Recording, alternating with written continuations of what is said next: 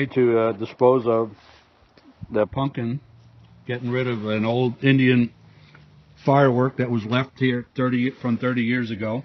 All right, ready? Yeah.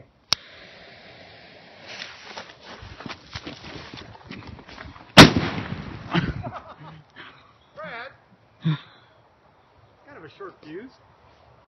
Well, And a surprise to no one. it didn't do anything other than uh, make a little. Uh...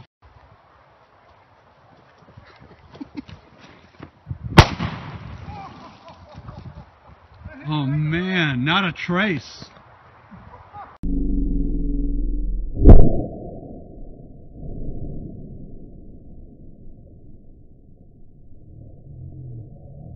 Okay, here we go.